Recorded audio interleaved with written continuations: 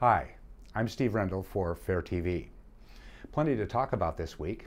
We start in Chicago, where the teachers union is squaring off against Mayor Rahm Emanuel, and it couldn't be clear which side the corporate media are on.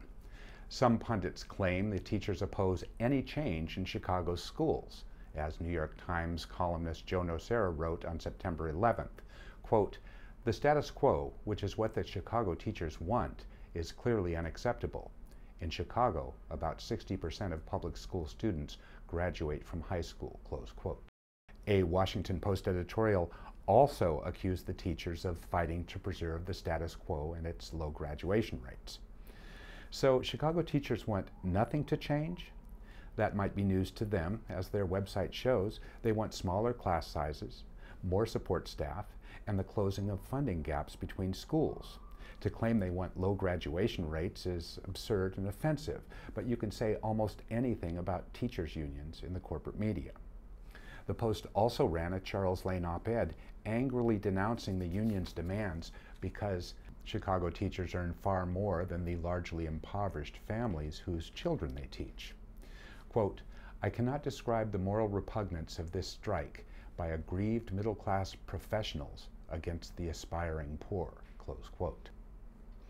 Yes, teachers are even against the poor. Lane neglects to mention if he thinks journalists in big cities with high poverty rates should also take a pay cut. But then journalists aren't teachers. A shocking new CIA torture story in the September 6 New York Times shows the paper of record is still incapable of calling things what they are when the things in question are torture and when the torture in question is the U.S. government. This case involves a CIA prisoner in Libya during the Bush years who gave his account to Human Rights Watch. He described being subjected to waterboarding torture, being stripped naked and chained to a wall, and forced into various stress positions. But instead of using the T word, the Times preferred euphemisms like mistreatment, interrogation methods, and CIA techniques. The paper didn't totally avoid the word torture. There's a reference to a board being used in water torture deep in the piece, but contrast the Times' timid language with Human Rights Watch's announcement of the report, which began, quote, the United States government during the Bush administration tortured opponents of Muammar Gaddafi. It's important to point out that this isn't new.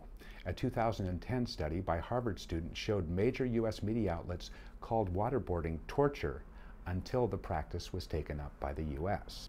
If this story were about Libyans being tortured under Gaddafi, we're guessing the New York Times would have called torture by its name. And finally, the Washington Post presented a two page energy debate on September 11th, but industry critics were missing. Perhaps because the discussion was sponsored by the oil industry, a fact the Post failed to tell its readers. The feature was mostly short comments from discussions at the Republican and Democratic conventions that were sponsored by the Post and the Bipartisan Policy Center. But the Post failed to credit one sponsor, VoteForEnergy.org, which is really the American Petroleum Institute, the main lobbying group of the oil and gas industry. So if you're wondering why the Post feature failed to include bona fide critics of the energy giants, voices that might speak out against fracking, strongly advocate for renewable energy, or warn about climate change, that would seem to be your answer. Instead, readers heard mostly from politicians and think tank experts who touted the benefits of oil and gas drilling. Readers were even treated to the climate change denying Republican candidate for governor of West Virginia.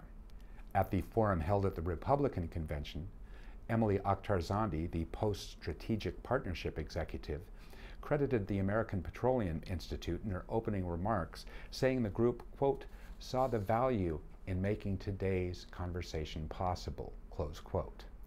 Arranging a debate that excludes your critics is, of course, very valuable. And so is seeing that one sided discussion spread across two pages of the biggest newspaper in the nation's capital. It was a good day for big oil. This is Steve Rendall for Fair TV.